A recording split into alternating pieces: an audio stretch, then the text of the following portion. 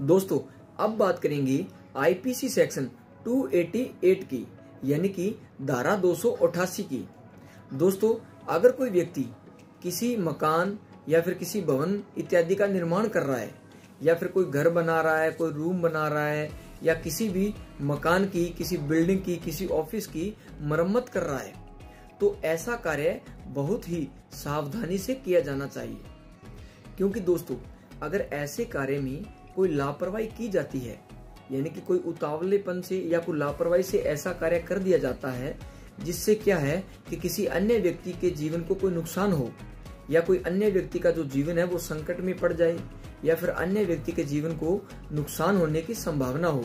तो फिर ऐसा कार्य आईपीसी के सेक्शन 288 के तहत अपराध माना जाएगा। क्योंकि अगर कोई व्यक्ति अपने घर का, अपने ऑफ़िस का निर्माण करवा रहा है या फिर अपने ऑफ़िस को, अपने घर को, अपनी बिल्डिंग को मरम्मत करवा रहा है तो ऐसा कार्य लापरवाही से नहीं किया जाना चाहिए।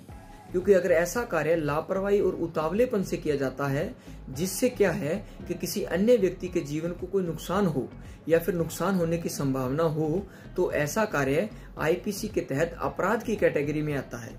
दोस्तों, ऐसे कार्य के लिए आईपीसी सेक्शन 288 के तहत दंड का प्रावधान किया गया है। अगर कोई व्यक्ति आईपीसी सेक्शन 288 के तहत दोषी पाया जाता है तो दोषी पाए जाने वाले व्यक्ति को इस सेक्शन के तहत छह महीने तक की जेल प्लस जुर्माने से, जो एक हज़ार रूपए तक का हो सकता है, या फिर दोनों से दंडित किया जाता है।